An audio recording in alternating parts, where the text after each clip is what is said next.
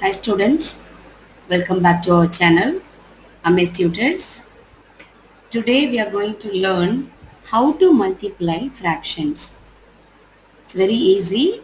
There are three steps involved. So before going to multiplication, you know very well how to add and uh, subtract the fractions.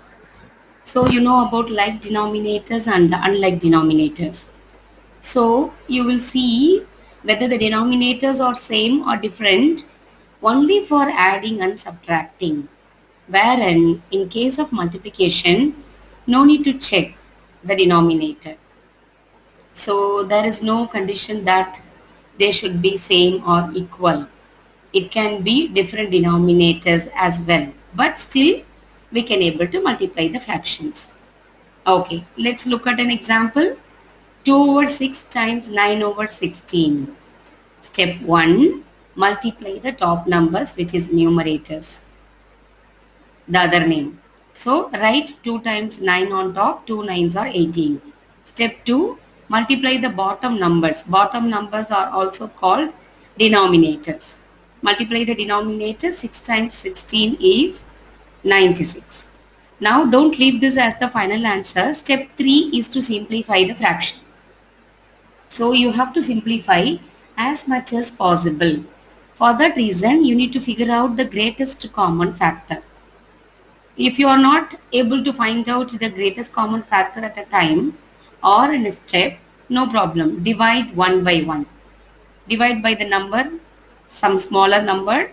Here in this case, dividing by 3 first. Because both are divisible by 3, 3 is the common factor. 18 divided by 3 is 6 and uh, 96 divided by 3 is 32. 6 by 32 that is not final answer again. It is simplifiable because both are divisible by 2 again. So dividing by 2 will give you the final answer which is 3 by 16. Because 3 by 16 there is no common factor between 3 by 16 we cannot simplify that. That is why this is the final answer. So these are the three steps. Let's look at some more examples. We are going to practice some questions.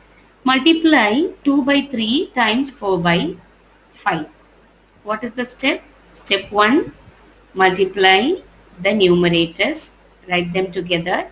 Multiply the denominators. Isn't it?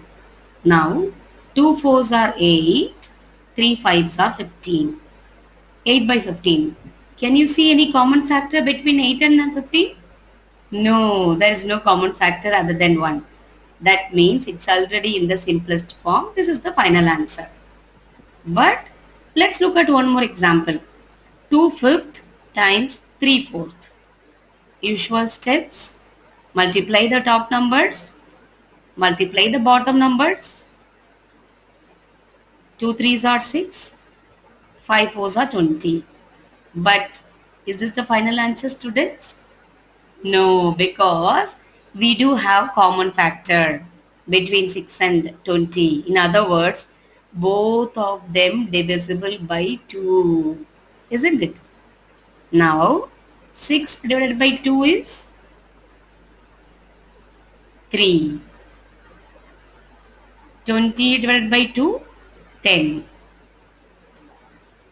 3 by 10. Now, is it possible to simplify again or this is the final simplest answer? This is the final simplest answer or in lowest terms because there is no common factor between 3 and 10. So, this is an example wherein uh, this is uh, no, not possible to simplify this is another example where you have to simplify. Now, these are multiplying fractions, but I'll show how to multiply whole numbers and fractions. This is again easy.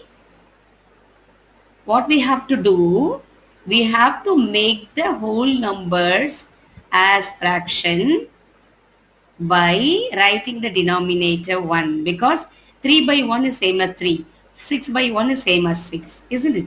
So whenever you get such questions, one whole number, another, another fraction, don't panic, it's easy. Write 1 in the bottom of the whole number in the denominator and multiply as usual. So 3 twos, 1 15s. 3 twos are 6, 1 15s are 15. Now again this is uh, simplifiable. Both are divisible by 3, 3 which is equal to 2 by 5. That's it. Isn't it? This is the final answer. Same manner, next question. I have already converted 6 to a fraction, 6 by 1. So you can also do the same. Whenever it is a whole number, if it is multiplication or even for addition, subtraction, whatever may be the operation, you change the whole number to fraction by writing 1 in the denominator. Now continue doing the steps. 3 6 are 18, 1 5 are 5. Isn't it? But this is called improper fraction. I hope you know about the types of uh, fraction. Proper, improper, mixed number. It is called improper when the denominator is smaller than the numerator or if numerator is greater, then we call improper. So in such cases, if your answer is improper, don't stop there. Try to convert that to mixed number. You know how to do that, isn't it? It's based on division, long division. 3 5s of 15, 3 is the remainder.